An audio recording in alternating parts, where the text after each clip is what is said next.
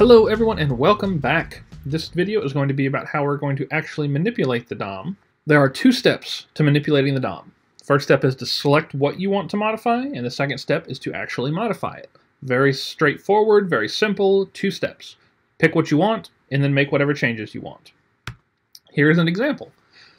You create a JavaScript variable, or constant, called myTitle, and you set it equal to document query selector h1. We'll talk about what query selector is and the other options you have, um, but you'll notice that query selector is a method on the document object, and you just pass it in whatever value.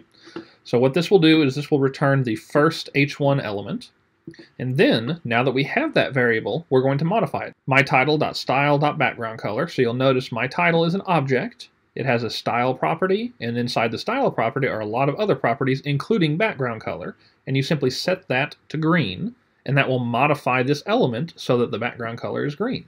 So we selected it with here, created a constant, and then we modified an element on that constant.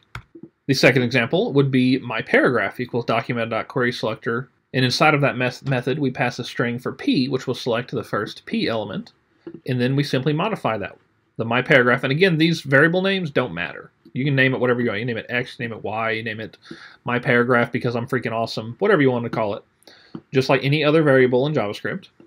But on that variable, on that constant, are the style property, and in the style property, one of the options is the color property, and you simply set that to orange, and that will change the text color to orange. So let's do a little bit of demonstration. Let's look at our website, clear that for the bad link, and let's change the background color of my title.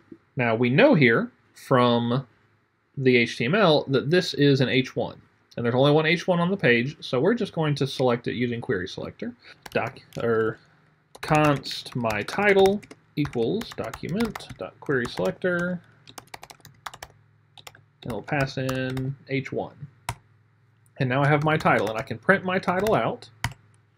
And you'll see that it's an H1 element, and inside of there you have all these different elements because this is a JavaScript representation of a DOM element. There's a lot of information on here, tons of stuff, tons of stuff, tons of stuff that we don't need. But it's there. Just be aware that it's there. But now we can change those. So if you remember from the example, we looked at style.background color. So if we look in here, Scroll down, scroll down, scroll down, and you'll see that there is a style object. And inside of that, it has a lot of different elements. You'll see the mo the you'll see the Moz and the WebKit prefixes. Those are just for browser compatibility. But you have a ton of different things on here.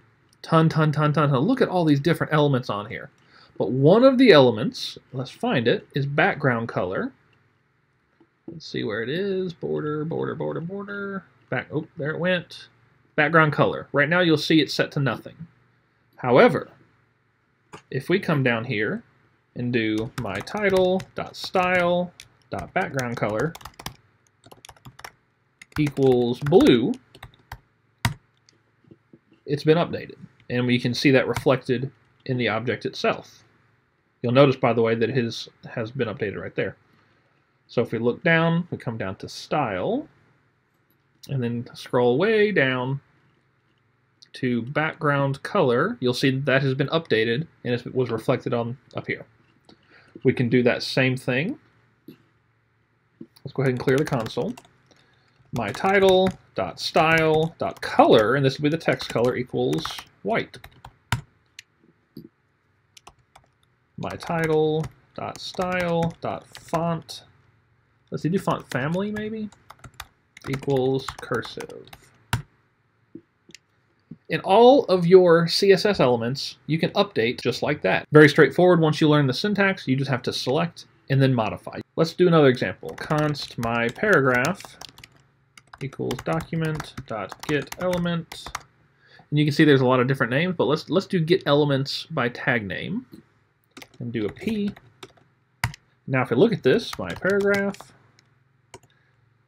you'll see that it's a little bit different because it's an it's a HTML collection or an array of objects because what this the get elements by tag name gets all of the elements that are p's. So if you had multiple p tags on here, it would get all of them, while query selector just does the first one. And we'll get into each one and the different types you can use and when to use each one. But for just for an example, now we have my paragraph, and we know there's a collection, and we want the first item on there. And you, you'll see Firefox helpfully has highlighted that for us so we can see it.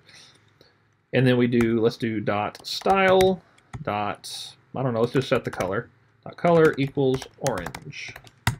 And now that's orange.